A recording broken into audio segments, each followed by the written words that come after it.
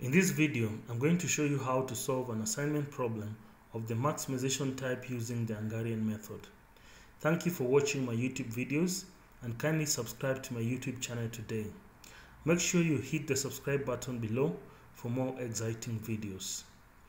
Although the assignment method is primarily a minimization technique, it can be used to solve problems where maximization is required. In order to use maximization, each value in the initial table is subtracted from the largest value. This reverses the order of magnitude. The solution then proceeds as though you're solving a minimization problem. So in the question at hand, we have a company which has uh, four plants, one, two, three, and four, each of which can manufacture any of the four products. Now given the profit table, how can we assign the plants to product for maximum profit using the Hungarian method? Now using the Hungarian method, uh, there are steps which are followed. And the first step is the largest figure is subtracted from every element in the table. So in this case, we are going to establish our largest element, which is going to be 8. So 8 is going to be subtracted from every element in the table. So we're going to have 8 minus 1, 7, 8 minus 8, 0, 8 minus 4, 4, 8 minus 1, 7. In row 2, we'll have 8 minus 5, 3, 8 minus 7, 1, 8 minus 6, 2, 8 minus 5, 3. In row 3, we'll have 8 minus 3, 5, 8 minus 5, 3, 8 minus 4, 4, 8 minus 2, 6. In row 4, we'll have 8 minus 3, 5, 8 minus 1, 7, 8 minus 6, 2, 8 minus 3, 5. Now that operation is going to give us a table which looks like this. So we're going to have 7, 0, 4, 7, 3, 1, 2, 3, 5, 3, 4, 6, 5, 7, 2, 5. The next step is uh, reduce each row by its smallest element. So in each row we're going to establish now the smallest element. So in row 1 we'll have the smallest element to be 0. In row 2 our smallest element to be 1. In row 3 our smallest element will be 3. In row 4 our smallest element will be 2. So we're supposed to reduce now each row by its smallest element. So we'll have 7 minus 0, 7, 0 minus 0, 0, 4 minus 0, 4, 7 minus 0, 7. In row 2 we'll have 3 minus 1, 2, 1 minus 1, 0, 2 minus 1, 1, 3 minus 1, 2. In row 3 we'll have 5 minus 3, 2, 3 minus 3, 0, 4 minus 3, 1, 6 minus 3, 3. In row 4 we'll have 5 minus 2, 3, 7 minus 2, 5, 2 minus 2, 0, 5 minus 2, 3.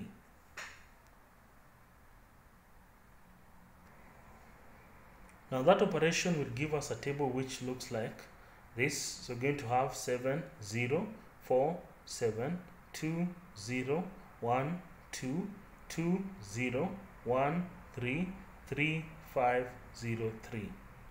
Now the next step is reduce each column by its smallest element. So now in our first column, our smallest element will be 2. In our second column, our smallest element will be 0. In column 3, our smallest element will be 0. In column 4, our smallest element will be 2.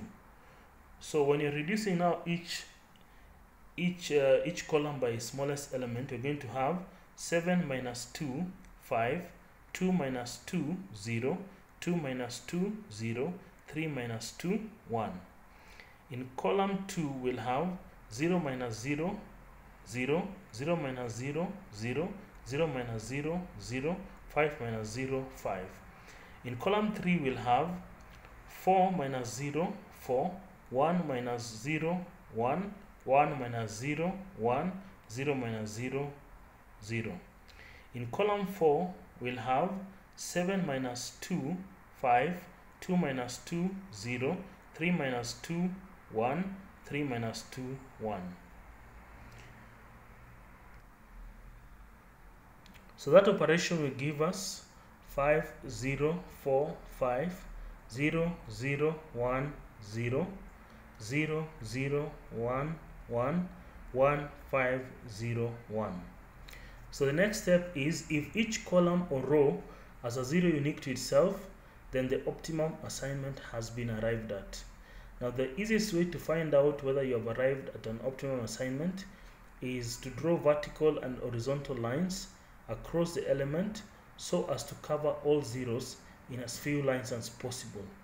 And we need to note that the lines must not be less than the number of assignment. So in this case now we're going to draw now vertical and horizontal lines across all zeros in as few lines as possible. So in this case now we start with the row. Which row has the highest number of zeros? So in row 1 we have 1 0. In row 2 we have 3 zeros. In row 3 we have 2 zeros. In row 4 we have 1 0. So we're going to cross now the second row like that. The next line now will be on the third row. Now still we have two zeros remaining so you can have a vertical line there another vertical line there. So we have crossed all zeros using now vertical and horizontal lines. So how many lines do we have? We have one, two, three, four.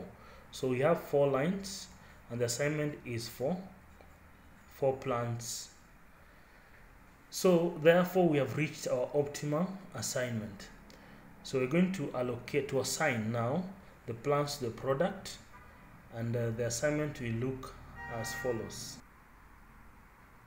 So looking at uh, this table, we're going to have plant 1 being assigned to product B. You can see now B there. Plant 2, we have A, B, and D. For plant 3, we have A, B. Plant 4, we have C. And remember in assignment, it is uh, supposed to be one plant, one product. So in this case, the final uh, assignment will be plant A will go to product B. Then plant 4 will go to product C. Then in, for plant 3, since B has been taken automatically, we'll have now plant 3 uh, we assign it to product um, A. So since A and B have already been taken by plant 1 and 3, automatically plant 2 will go to product, will be assigned to product D. So that is our assignment. Now what is the maximum profit? So you need to go back to our initial table, now get the original figure that were in that table, then you see the maximum profit. So this is our original table. So we're saying plant 1, we're going to have it to go to B. Then plant 2, plant 2 we have um, product D, that is 5. Then plant 3 plant 3 we have product A then finally plant 4 we have product C. So therefore our maximum profit will be 22 thank you for watching my youtube videos. Kindly subscribe to my youtube channel today. Thank you